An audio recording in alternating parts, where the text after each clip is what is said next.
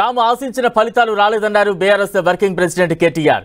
ఇరవై మూడేళ్ళలో ఎన్నో ఎత్తు పల్లాలను చూశామని తెలిపారు. ప్రతిపక్షంలో ఉండి ప్రజల పక్షాన పోరాడతామని చెప్పారు. గోడకు కొట్టిన బంతిలా మళ్ళీ వస్తామన్నారు. చాలా చోట్ల స్వల్ప తేడాతో ఓడిపోయామన్న కేటీఆర్ ఉద్యమ స్ఫూర్తితో పోరాడతామన్నారు. మనం ఆశించిన ఫలితం రాలేదు. ఆశించిన ఫలితం నిజానికి మనం డెఫినెట్గా గతం కంటే కూడా మంచి మెజారిటీ సాధిస్తాము. అనే ఒక ఆశాభావంతో ఎన్నికలకు పోయినాము. కారణాలు ఏమైనప్పటికీ ఇంకా కారణాలు లోతుగా సమీక్షించుకుంటాం.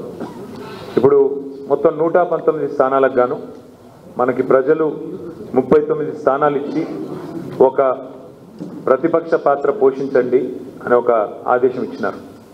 మరి ప్రజలు ఇచ్చిన ఈ పాత్రను ఈ బాధ్యతను తప్పకుండా సమర్థవంతంగా నిర్వహిస్తాం. ఒకటి మాత్రం పక్క ఇవాళ ప్రతిపక్ష పాత్రలో ఏదైతే ప్రజలు మనకి ఇచ్చినారో దీన్ని కూడా అలవోకగా దీనిలో కూడా ఇందులో ఇమిడిపోతాం. వంద శాతం ప్రజల పక్షాన ప్రజల గొంతుకై మరి రేపటి రోజున ప్రభుత్వం నడిపే వాళ్ళందరినీ కూడా మరి వారిచ్చిన వాగ్దానాలు కానీ ఇంకోటి కానీ వాటన్నిటి విషయంలో ప్రజల పక్షాన ఉంటాం. డెఫినెట్గా కొంత బాధ ఉంటుంది. కానీ ఆ బాధను దిగమింగి మళ్ళీ గోడకు కొట్టిన బంతి ఎట్లయితే మళ్ళీ తిరిగి అంతే వేగంగా వెనుకకు వస్తుందో అంతే వేగంగా తప్పకుండా ప్రజల మన్నన తిరిగి పొందే విధంగా పనిచేద్దాం. అదేవిధంగా కాంగ్రెస్ పార్టీ మరి వారికి ప్రజలు అవకాశం ఇచ్చారు. ఇవాళ ప్రజలు తెలంగాణ ప్రజలు మాకంటే ఎక్కువ సీట్లు కట్టబెట్టి ప్రభుత్వాన్ని నడపమని వారికి అవకాశం ఇచ్చారు. వారికి కూడా మా అభినందనలు. మరి వారు ప్రజల ఆకాంక్షకు అనుగుణంగా తప్పకుండా బాగా నడపాలని నేను కూడా మనసారా కోరుకుంటా ఉన్నాను. మా పార్టీ తరఫున కూడా తప్పకుండా వారికి శుభాకాంక్షలు కూడా తెలియజేస్తూ ఉన్నాం. అదేవిధంగా ఒక మాట మాత్రం వాస్తవం. మరి మేము కూడా నిర్మాణాత్మకంగా ఒక పద్ధతి ప్రకారం పోతాం. వెంటనే కొత్త ప్రభుత్వాన్ని తొందరపెట్టే పని కూడా మేము చేయం. వాళ్ళు కూడా కుదురుకోవాలా వాళ్ళు కూడా పని చేయాలా?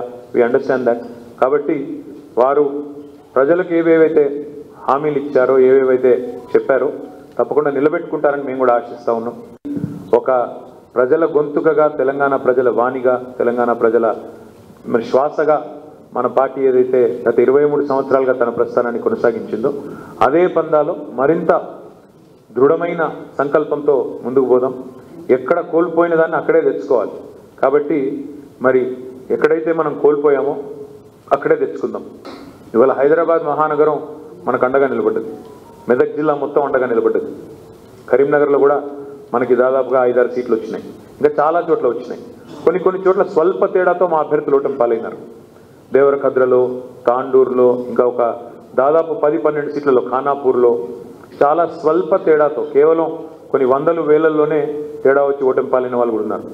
అనూహ్యంగా కొంతమంది మా మంత్రివర్యులు కూడా ఓటంపాలైనారు పార్టీ బాధ్యుడిగా పార్టీ యొక్క కార్యనిర్వాహక అధ్యక్షుడిగా మా పార్టీ కార్యకర్తలు కూడా చెప్పేది మా నాయకులు కూడా చెప్పేది ఏమంటే ఇది కేవలం ఒక చిన్న స్పీడ్ బ్రేకర్ మాత్రమే చిన్న ఎదురు దెబ్బ మాత్రమే.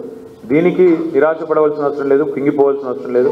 తప్పకుండా మన నాయకుడు కేసీఆర్ గారి నాయకత్వంలో మళ్ళీ ఒకసారి బలంగా ఎక్కడి వాళ్ళం అక్కడ అన్ని సర్వశక్తులు ఒడ్డి పోరాటం చేద్దాం.